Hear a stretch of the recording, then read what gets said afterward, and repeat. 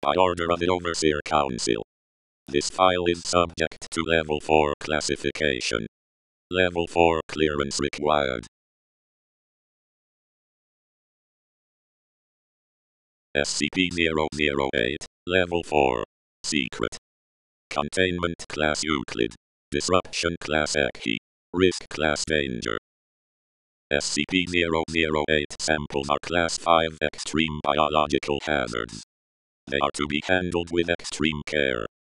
If any SCP Foundation research facility with samples of SCP-008 suffers a containment breach, incineration and irradiation measures may be undertaken to contain the anomaly.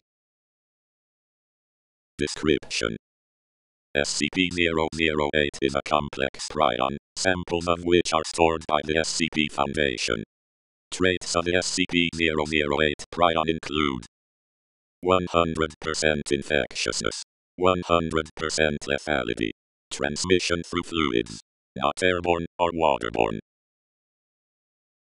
Symptoms of SCP-008 infection include flu-like symptoms with high fever and mental processing issues in later stages.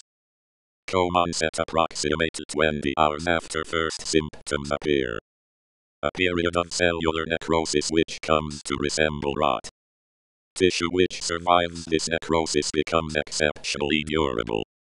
Metabolism may decrease to low levels, so subjects can survive without nutrition.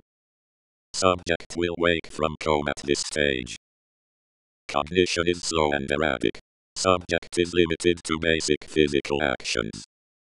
Subject will seek out non-infected humans and attempt to consume them. In short, SCP-008 infects subjects and converts them into zombies. Containment Breach Samples of SCP-008 were recently released in several cities across Earth. Approximately 1 million subjects have been infected by SCP-008. These cities are facing a pandemic-level outbreak of SCP-008. The SCP Foundation is working with local authorities to contain SCP-008. The SCP Foundation will lock down areas of the cities with SCP-008 zombies. Then those areas will be destroyed. Despite the civilian casualties this will cause, it is the only way to ensure that SCP-008 does not spread. A suitable cover story will be given to the public.